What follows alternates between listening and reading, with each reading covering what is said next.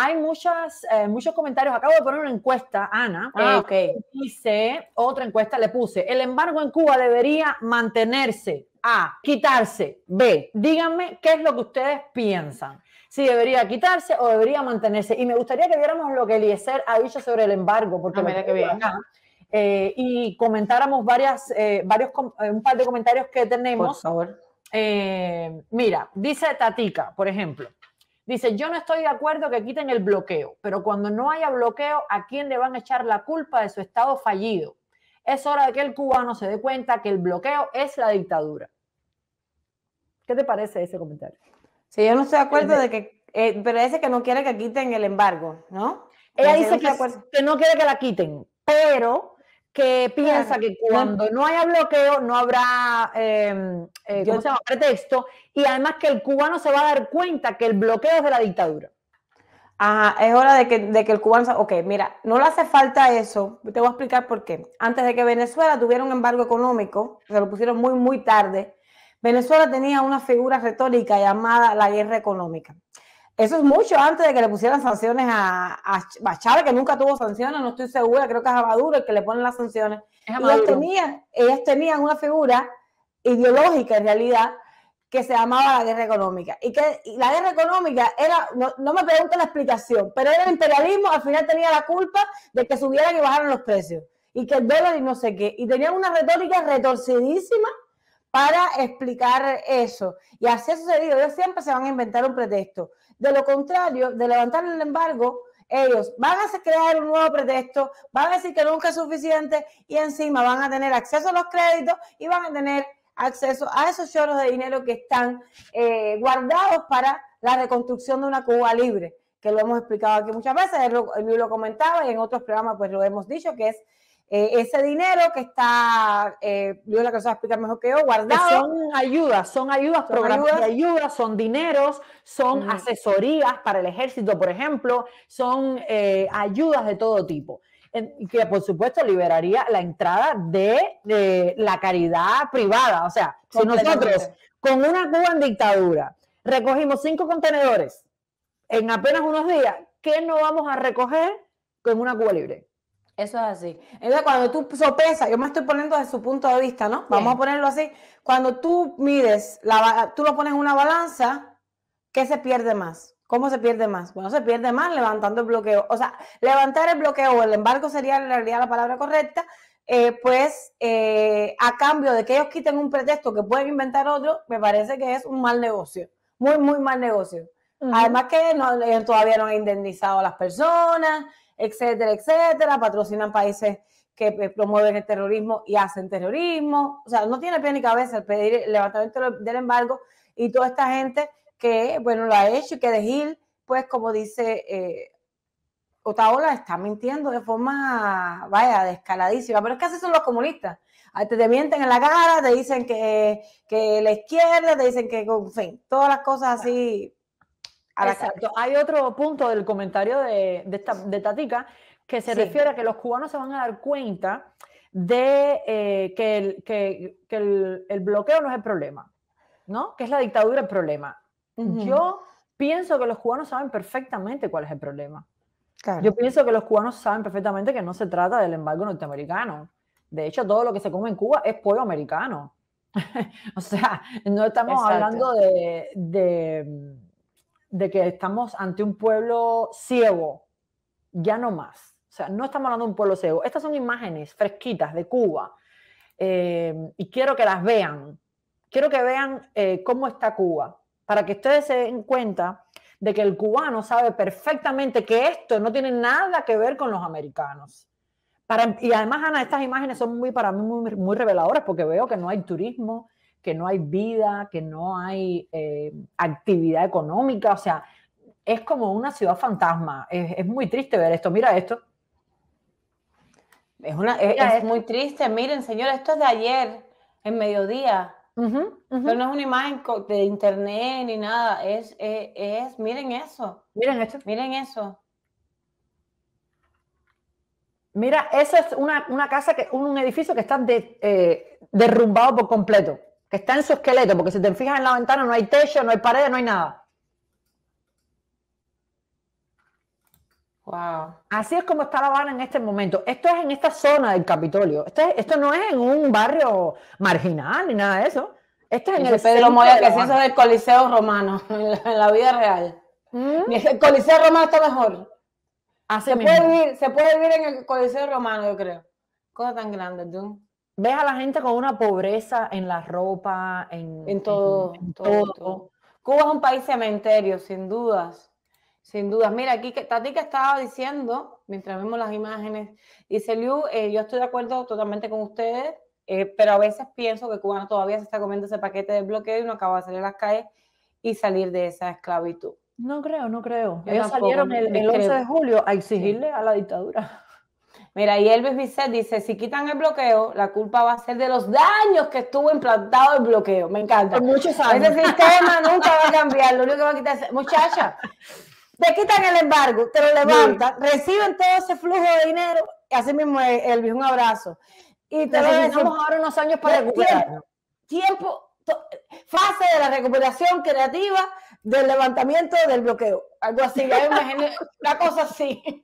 Mira, antes de ir a la destrucción, mira, este es el Boulevard de San Rafael. Dios mío, Y tú, padre. esto, quien, que, o, quien sabe de La Habana, quien ha vivido en La Habana, sabe que esto, esto está vacío. Dios, vacío. Eso siempre está lleno de turistas, estaba lleno de turistas, siempre estaba lleno de gente, o sea, esto ahí no se podía ni caminar, prácticamente. Dios santo, padre. Eso está ahí vacío, la gente esperando que cae del cielo. Y mira, eh, mira esto. Mira esto. la Ampáranos. mata de la pared, las matas naciendo en la pared. Esto que hay aquí es tapando un hueco que hay ahí. Es un colchón, tapando, una cama tapando un hueco. Ahora le vamos a poner video del transporte cubano. Un camello. Eso, eso, eso sí me llamó la atención, ¿sabes? ¿Qué fuerte? Yo pensé que los camellos no existían ya. Pues parece que han vuelto los camellos. ¡Qué fuerte! Yo me Mira quedé así, parecía, parecía ¿eso es una imagen de los años 90 o qué? No, no, no, no, eso fue ayer, que en vivo se me, me lo enviaron. En vivo y en directo. Ahora te voy a poner los videos porque tengo los videos. Ahora para que lo veas. En vivo y en directo. Este es el Boulevard. Todo el mundo con una obstinación de madre. Dice aquí Eloy García, dice, Estados Unidos tiene un embargo a Cuba, pero es su quinto socio comercial. Pero Cuba puede comerciar con el resto del mundo. ¿Cuál es el objetivo del comercio con el USA? Pues los CR, los comunistas, me imagino, no sé. Y como siempre, comprar y no pagar. Claro, eso es lo que ellos quieren, esos créditos, endeudar a los agricultores acá, a los empresarios acá, eh, digo, quedar, que se queden sin nada, no pagarle, pagar. no nada, y, y todo así a la mazamba. ¿eh? Y esto, señores, es una Cuba que recibió 7 billones de dólares que todavía no sabemos dónde- cómo se hizo, ni dónde llegó y cómo fue. Ni, y que, sigue- que recibe ayuda por, por todos lados. Pero el problema es que como ellos no producen nada, eh, señores, es como una casa. Si usted gasta y gasta y no produce, no importa el dinero que le, le entre. Tu amigo te regala 10 pesos, este te regala 20, te regala 10, oye, nunca te, y te lo compras en cartera, y te lo compras en cosas, no sé qué, y tú no inviertes y no produces, pues nunca, nunca va a haber dinero suficiente para ellos, porque ellos tienen, no, no, no hacen nada, no crean riqueza, penalizan la riqueza, entonces lo que les regalan, o lo que ellos jinetean, o lo que ellos roban, pues tampoco le va a alcanzar, nunca le va a alcanzar. Entonces, imagínate tú, porque es mucho dinero que le dan. Mira, Pues,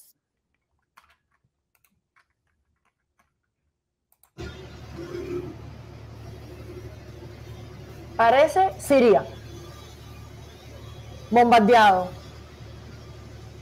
Mira esto. Mira eso. Dios santo. No, Siria está mejor ya. Mira eso. Ahora déjame ponerte el otro. Mira, me encanta esto también. Dice Ernesto, ay, ustedes son los mejores. Hay que tener memoria. En la década 2000, 2010, el embargo era simbólico con Obama. ¿Qué cambió en Cuba? Nada. Nada. O sea, que el, exacto, el afloje y los años de normalización, y exacto, completamente de acuerdo. Tú sabes que revisando la ley del embargo rápido por la mañana hoy, Sí. descubro un pedazo que es muy interesante que tenía la ley del embargo, que para autorizar remesas a Cuba ah, tenía que haber eh, negocios privados. Es decir, Para- las remesas estuvieron prohibidas y el régimen hace la apertura de los negocios privados Por eso yo decía, ¿qué sentido tiene abrir los, negocios privados y después ah. perseguirlos y cerrarlos? Claro, pero para recibir las remesas. Era para autorizar las remesas. Es porque eso está en la ley del embargo. Y me, gusta, me gustaría mucho eh, recalcar que la ley del embargo es uno de los grandes logros del exilio cubano. Es uno de, las, de, las, de los golpes más duros que el exilio cubano le ha dado a la dictadura. Cuando dicen, ¿qué ha hecho el exilio cubano? El embargo. La ley del embargo que se llama la ley de la libertad, la ley para la, de, la democratización de Esa ley que define que no se puede levantar el embargo a menos que haya un gobierno de transición o un gobierno democrático. Y por eso es que a mí me llama mucho la atención los intentos de transición o de gobiernos de transición sin, sin, sin acción, así un poco vacíos, como es la de la C40 o el Consejo para la Transición tengo que decirlo. Eh, me suena, tú sabes, a fabricación. No quiero ser, todo, todo me da pinta chiva, todo me da pinta chiva. Yo también. Perdón, mira, mira, mira estas imágenes del malecón. Es muy lindo el malecón, pero quiero que miren ahora cuando se vira para atrás. Mira esto. Oh my God. Ahora se va a virar.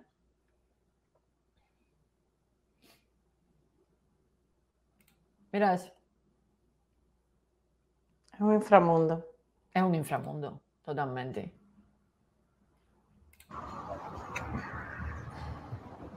Y todo es como desolado.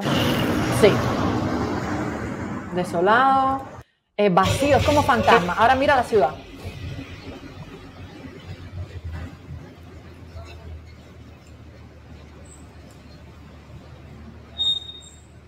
Eso es el Cine América. Eso, eso es en la zona del Cine América también vacío, una zona que suele ser eh, súper transitada. Y esto fue a mediodía, esto no fue a las 6 de la mañana.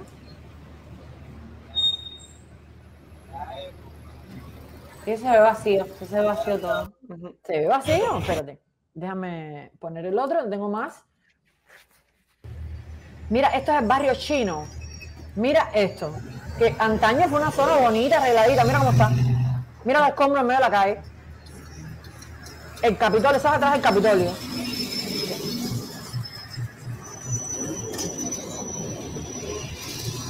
Eso está así hace años.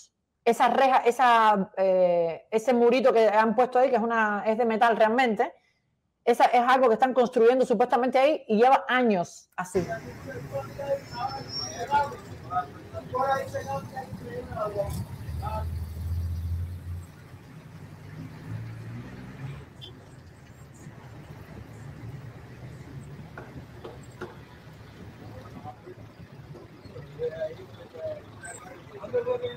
¿Ves el Capitolio ahí como algo anacrónico en el medio de toda la de toda la destrucción?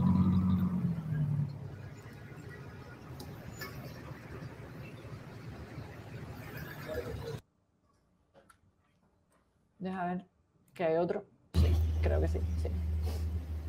Mira la guagua por dentro. Dios santo.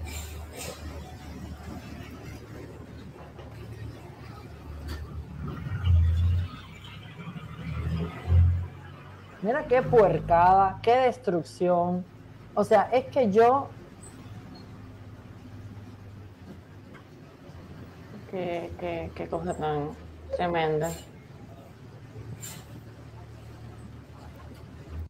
Bueno, aquí tenemos todas esas cosas. Eh, tengo más, podemos ir después, a lo mejor mañana pasado, poner más, pero me gustaría que viéramos un pedacito de lo que dijo Eliezer sobre el tema del embargo, porque nos toca hablar eh, sobre, sobre eso, Ana, durante estos días y más, sobre todo a las nuevas generaciones que están llegando de exiliados aquí a, Estados Unidos, a la, la gente que está saliendo de Cuba, para que comprendan específicamente de qué va la cosa. Aquí está eh, lo que dijo Eliezer sobre el tema. Tenemos más eh, información sobre lo de Holguín. Mm. Ok, eh, para ver si era verdad lo del colapso de los bancos de Holguín, nos comunicamos con amigos que tenemos allí personalmente, en persona. y nos han dicho que la quincena pasada fue terrible para cobrar, que este mes no han pagado todavía, pero que en todo GIN no hay ni un cajero que tenga dinero en efectivo para sacar y que ahora cuando el vecino de abajo llegue nos confirma eh, cómo va la cosa con el banco. Pero está Holguín sin un peso. Sin un peso en Holguín.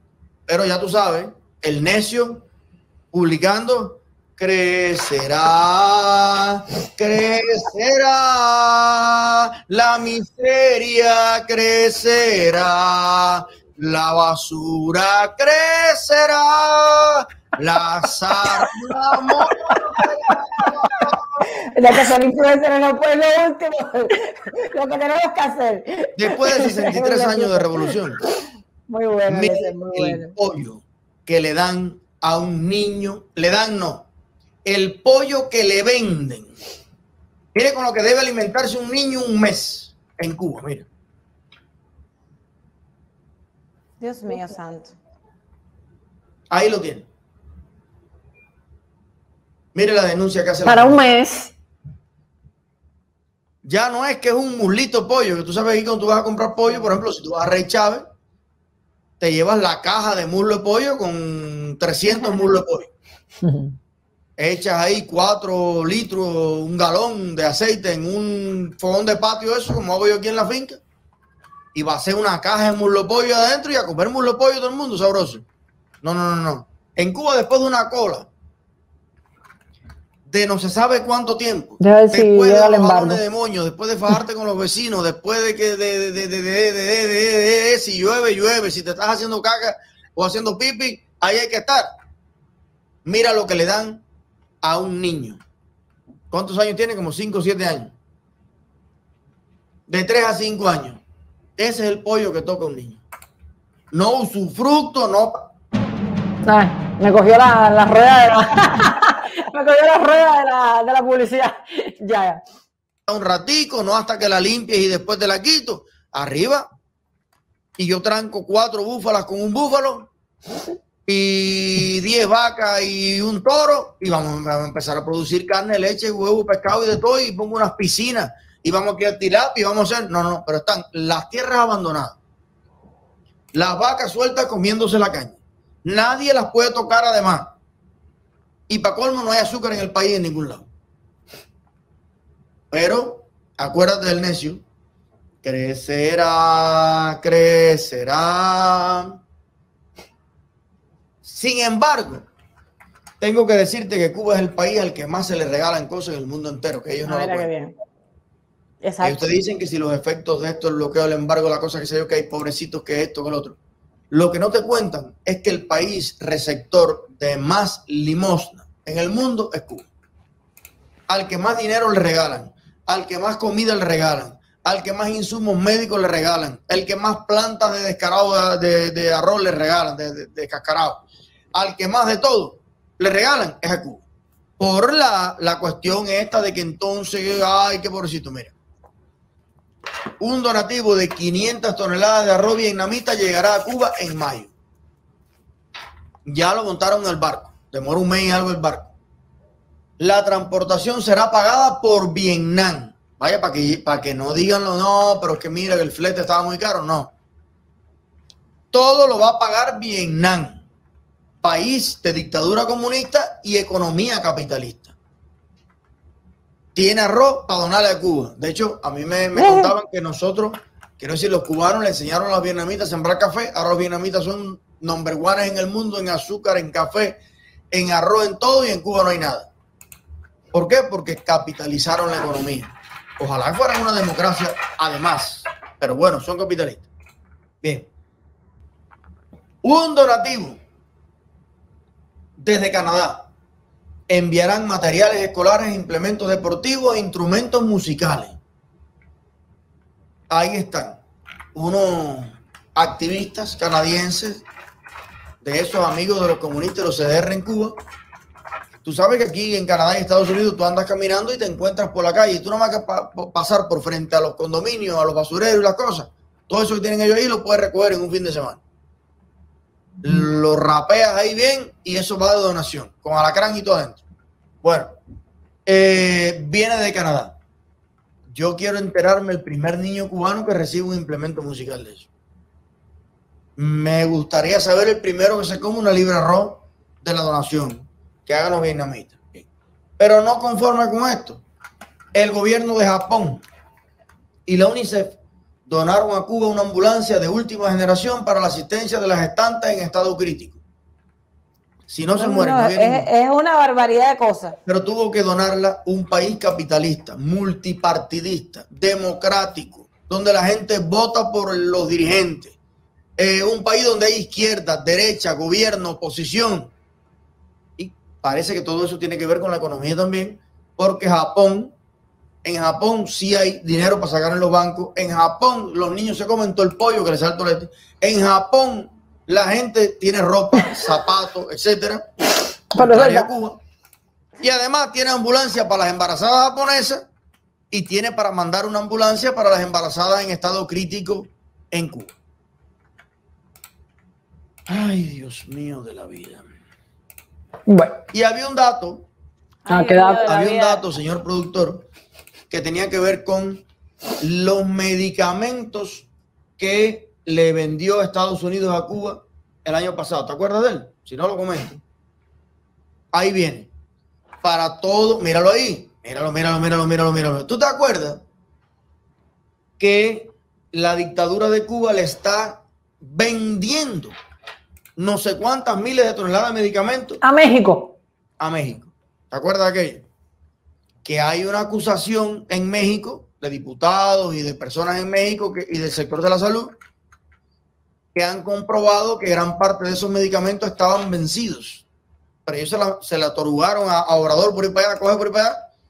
Y que Obrador, que su gente coge comisión de todas las transacciones estas, ya pagó y todo. Bien. Bueno, ¿dónde están los medicamentos? En apenas 12 meses, Estados Unidos vendió a Cuba, escucha esto, 208 mil 99 dólares de fármacos dosificados. Dios santo. Casi un cuarto millón de dólares de medicamentos. Eh, dosificados, más jeringuillas, agujas, catéteres y otros por un valor de 9.170. ¿Los destinaron las autoridades cubanas a los hospitales del país o fueron reservados para la venta en sus farmacias en dólares y el uso en las clínicas privadas que atienden a la élite del poder y a los pacientes extranjeros que pueden pagar lo que vale el servicio. Pero ¿qué es lo más revelador para mí de este dato que es oficial? En las páginas que regulan el comercio internacional, usted puede entrar y mirarlo. Señores cubanos, usen el internet para otra cosa, está bueno ver porno, yo también a veces veo. Pero no solo eso, no solo eso, vean directas, vean información. Yo disfruto mucho de Cuando a ti te dicen la gente del partido que no hay jeringuilla en los hospitales por culpa del bloqueo, no te quedes con eso. Eso es lo que le conviene a ellos, esa es la mentira que le conviene a ellos repetirte, para que tú no los culpes a ellos de su de, tu desgracia. Siempre, eh, oye, genial echar la culpa al vecino, pero independientemente del volumen de compra, que acá es un cuarto millón de dólares nada más en los últimos 12 meses de medicamentos, es que pueden hacer la compra. Como mismo construyen un hotel de 200, 300 millones de dólares, pueden comprar 200, 300 millones de dólares de jeringuilla. Estados Unidos, como mismo te vendió 208 mil dólares de insumos médicos, te vende 208 millones sin problema. Ellos son la carápula allí en La Habana los que deciden cuánto comprar y de qué. Se acabó el salbutamol en el policlínico de Vázquez. El bloqueo, no. Tú podías haberlo comprado. Decidiste hacer otra cosa. Decidiste hacer un evento internacional de turismo en La Habana o construir otro hotel con el mismo dinero.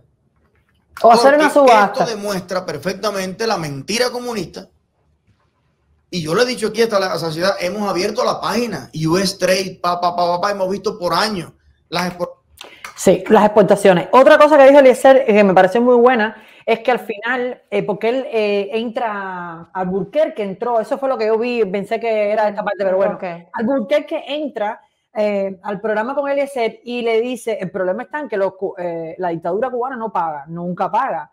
Y aquí en Ujú. Estados Unidos hay una ley federal que protege de ese tipo de impagos y estafas a los empresarios, muy especialmente a los campesinos. Y lo que ellos están queriendo promover es que eh, Cuba pueda comprar a crédito, porque ahora mismo Cuba puede comprar medicinas y eh, comida, y compra de hecho, todo el Claro. pueblo que se come en Cuba es americano, pero tiene que pagarlo al contado. No puede pagar a 90 días o a, o a 120 días, eh, Claro. porque sencillamente no, no tiene permiso para dar crédito, para tener crédito. Si le dan crédito, lo que va a pasar es que los campesinos se van a, quedar- van a venderle el pollo y nadie se lo va a pagar. Le van a comprar arroz, le van a comprar de todo y los campesinos de todas partes se van a quedar sin cobrar. Pero ¿quién va a pagar eso al final? Nosotros. Claro. Porque hay una ley federal que respalda ese tipo de transacción. Y entonces vamos a terminar nosotros con nuestros impuestos pagando el pollo a la dictadura. Y todo lo que la dictadura decida no- comprar y no pagar. No pagar. Sabemos que nunca paga. Qué horror. Qué horror. Son unos ladrones, de- son unos rateros. Pero rateros, rateros. Porque ni a ladrones llegan, de verdad que sí. Wow. Tremendo, tremendo, tremendo lío. Así mismo. Entonces, eh, vamos, en estos días vamos a abundar sobre el tema del embargo. Sí, Vamos a, a- a conversar sobre eso, vamos a traerles datos porque me parece que es eh, importante en este momento. De eh, recuerde que hoy, hoy, hoy es miércoles, mañana, hoy es jueves, ¿qué día es hoy? Miércoles. no, hoy es miércoles. Hoy es miércoles 8 de marzo, mañana 9 de marzo hay caravana eh, contra el levantamiento del embargo. El embargo permite a la dictadura cubana que compre eh, todos los 11 millones de dólares de- de- que recaudó en la subasta de los habanos, que dicen que lo van a dedicar por completo a la salud cubana. Bueno, ¿por qué no lo compran en medicamentos y en equipamiento médico para los hospitales en Estados Unidos? Porque el embargo no prohíbe la compra de alimentos, medicamentos ni insumos médicos. Así Pero mismo. no han hecho eso ni lo van a hacer porque ellos cuántos, cuántos millones no recaudaban del alquiler de, me- de médicos, de la venta de esclavos médicos. Por años estuvieron vendiendo 8 mil y 9 mil y 10 mil dólares al año. 10 mil millones de dólares. Estamos hablando de billones de dólares.